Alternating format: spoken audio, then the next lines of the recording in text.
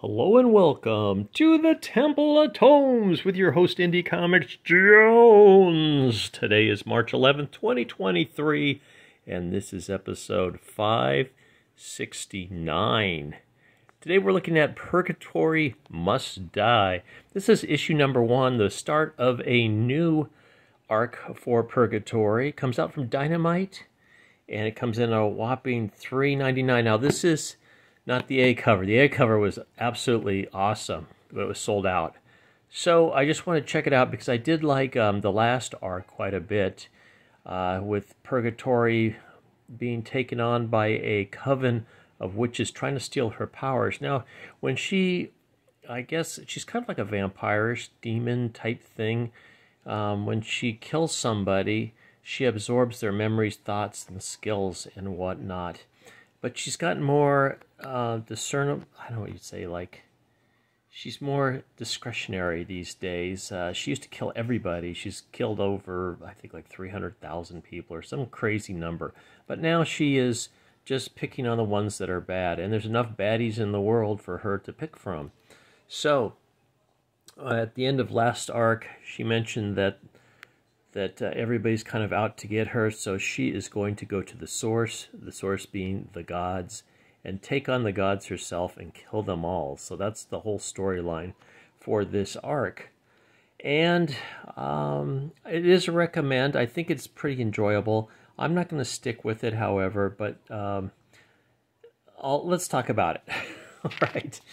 Let's get it. First of all, um, here's kind of a black white negative of the a cover. Unfortunately, I could not get it, um, but it looks really nice.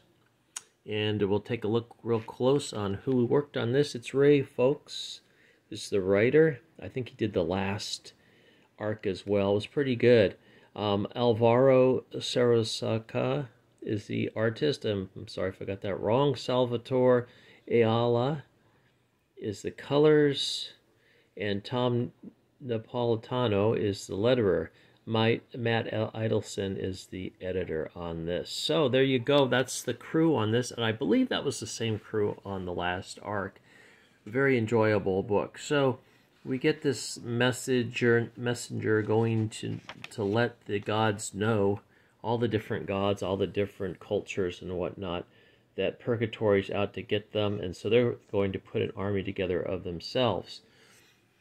And as we see, Purgatori is just kind of taking it easy for now.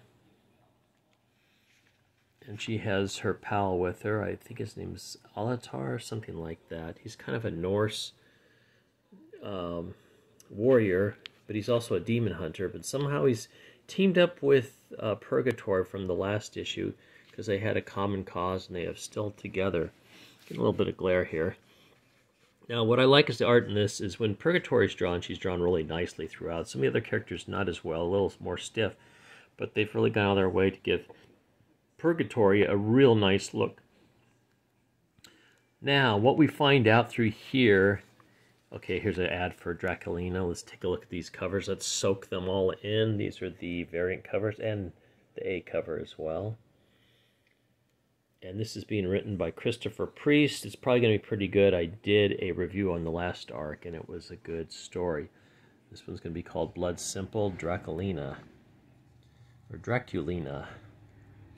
Christopher Priest. So the gimmick for this one is they're going to bring in all of Dynamite's roster. Sorry about that motorcycle. Go by. The roster of the gang to join the gods to fight Purgatori because they believe she's the most powerful. So that means you're going to see Vampirella, um, Pantha. Um, I'm trying to think of who else. Draculina, of course. And some other Uh, Evil Ernie is another one.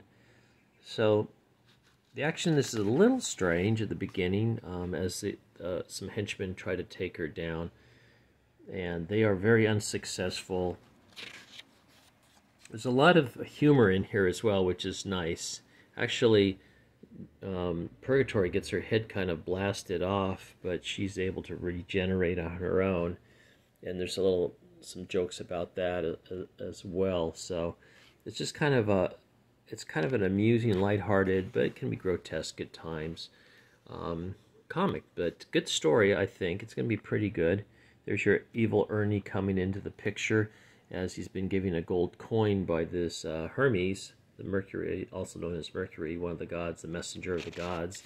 And he's going to go all over the world and give find all the different uh, people from the Dynamite cast to join in against Purgatori. So here we have a Barbarella ad. And uh, there you go. That looks pretty good. There's the, some of the other covers. Go through that real slow. Please feel free to pause at any time if you wish to look at something longer. Okay, we got through that. That's going to be written by Sarah Hunt.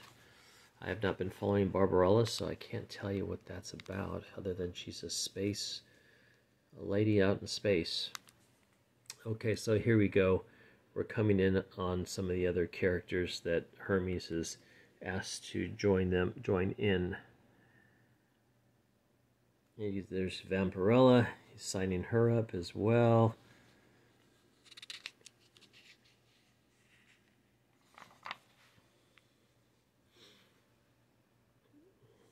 And some other characters here, including Pantha. I don't know this one is with the, uh, kind of looks like Power Girl. And of course, there seems to be no, no um, end to the number of people they're going to bring in on here to fight Purgatori. And her friend is telling her that things are going to be getting tougher and tougher. She's always kind of blowing him off when he comes up with these things, uh, much to her disadvantage. As you can see, there's a big uh, lightning bolt behind her, and she finds out, well, things are going to get a little much hairy from here on out, and she says, bring it on. So that's how the first issue ends. Um, it is a recommend just because I do like the Purgatori. Um, comic, the storyline. I don't like the way they kind of did this one, where they get kind of give you the fight, the fight card up front, so you know what's going to happen. It would have been more of a surprise to unreel, unreel these out as the series unfolded, but I still think it's a decent enough story. I don't think I'm going to follow this because I'm trying to follow some other ones at the meantime. So next, Purgatori dies a lot. Pergy dies a lot, I should say. So that's the next one. So apparently she's going to die and come back. Um, and here's a cover for the next issue. Let's get in tight. So a pretty nice looking cover. Now we're going to go over to the cover gallery, I believe, once we, uh, there's, or there's a bigger shot for the next issue. Plus Madballs versus Garbage, Garbage Pail Kids. Uh, I think that's a trade paperback. No, issue number one. It's a new arc on that one. So this doesn't look quite as nice, I don't think, as the uh, the other one. Then I got an ad, ad for Red Sonja, Hell Sonja, written by Jordan Clark. I believe this might be a no number two. Come out January. This is actually an older issue, obviously. Cherish. We did review this number one issue. Um, it was a not recommend, unfortunately. Now it's all the way up to number four. And Sweetie Candy Vigilante. That's number four for that coming out. Let's take a look at the cover gallery for this issue, though. And you can see there is uh, issue A. Cover A looks really nice. Fortunately, it was sold out. Um, I kind of been not real uh, what was consistent about making my way to the comic book store, so I'm missing out on a lot of things that come right out. And unfortunately, but that's kind of the way it is right now for me. And some more. Since this is a number one issue, a new arc, they kind of really loaded it up. Some uh, exclusive variants as well in here. I could have drawn that one. Okay, and finally, the last of them. Then we get an ad for Dynamite and for their app and we are out.